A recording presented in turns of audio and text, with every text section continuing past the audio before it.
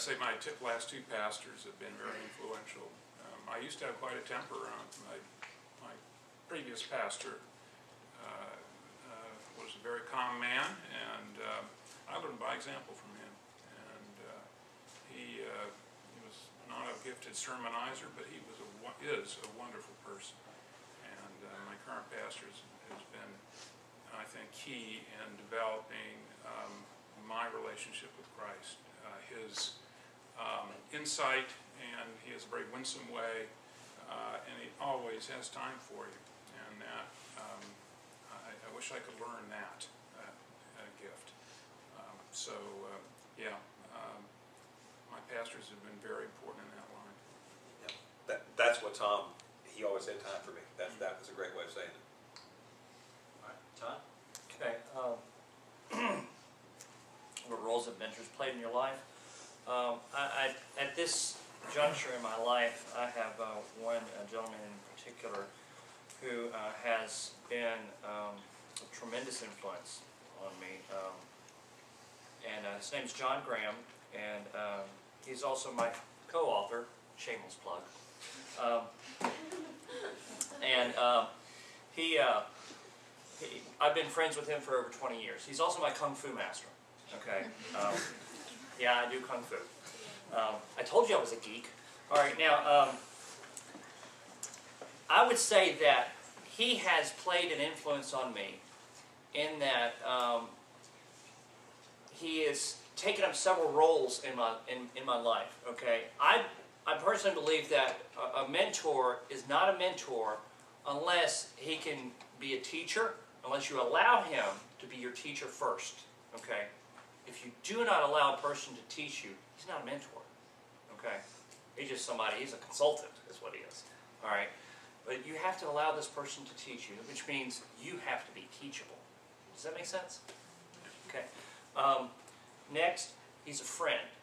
Okay, he's a friend. Um, he, he's somebody that I can turn to and say, "Hey, M, hey, MG." I call him MG. I say, "Hey, MG, I'm, I'm you know, I'm, I got this going on. What do you think about it?" Or, or even I don't. A lot of times, I'll just call him and say, "Hey, how are you doing? How are you feeling this morning?"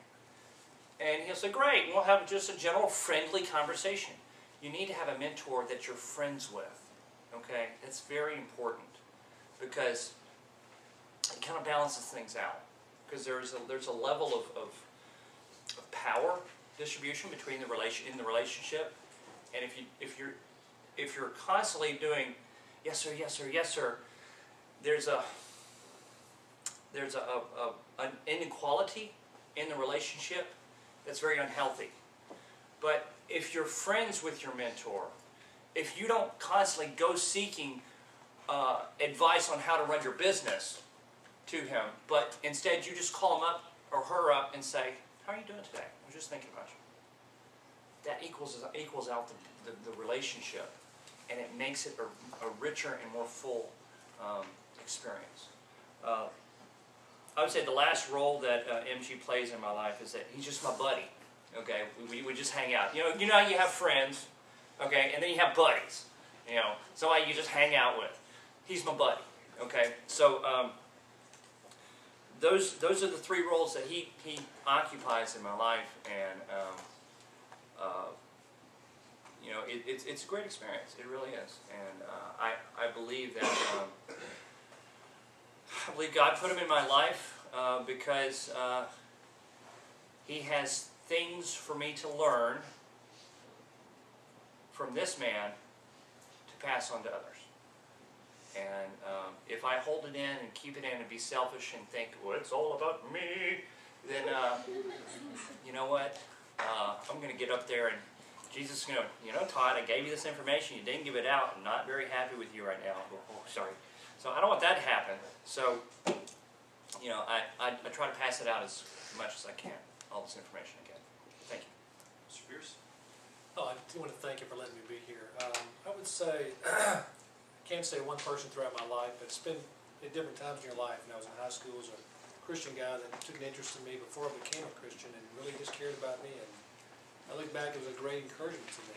And uh, then he kind of fell out, of, you know, moved on. A guy in college encouraged me also in the Lord. And older guy that would just hang out, like you said, and listen to you and, and be your friend, but yet kind of uh, advise you a bit.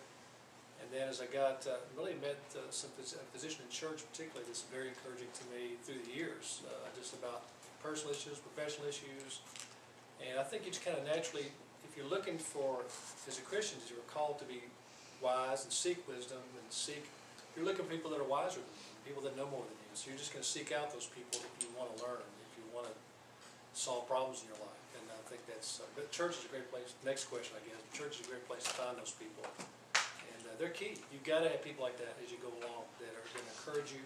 And God will bring them too, but you gotta, like you said, you gotta be willing to listen and do what they say. And not, they're dictating to you, but you gotta be willing to say, well, I think you may have a better course than I do in this situation. And Be willing to say, well, I'm gonna change my course because this is what he's, this is what he said to do it.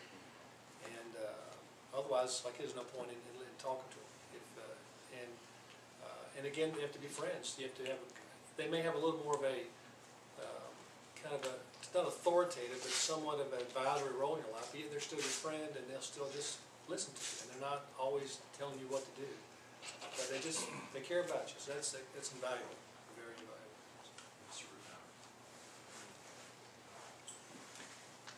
You know, I, I, I I think that you first have to define what a mentor is and realize, uh, that in different times in your life, you're gonna, you're gonna allow different people to influence you.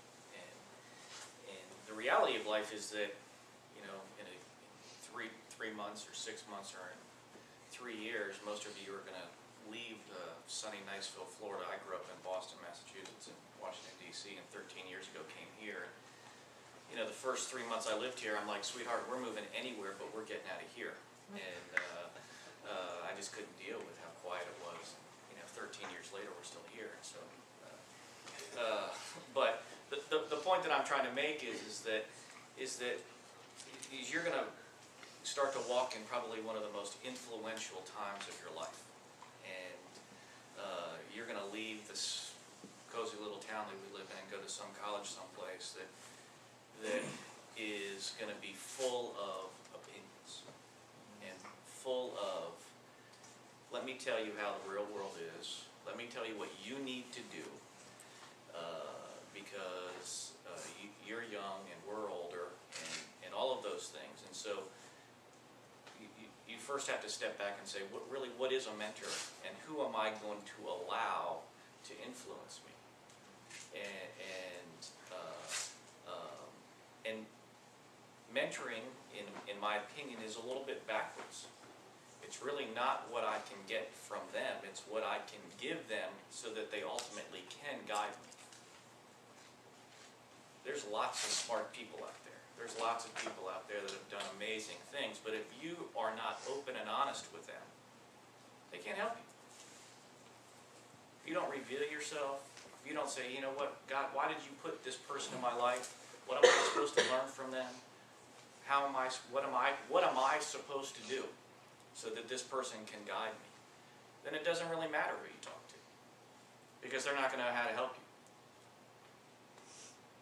And that's kind of backwards if you really think about it. And, and, uh, um, so much of my life was, what can I get from others? Until I woke up one day and said, hmm, really what can I give and ultimately if I do, I will get more in return. It's kind of biblical if you think about it. The, uh, uh, and it hasn't have anything to do with money. So my answer is, is different people are gonna mentor you differently throughout your life. But it really is, what are you gonna give them so that they can mentor you? Thank you.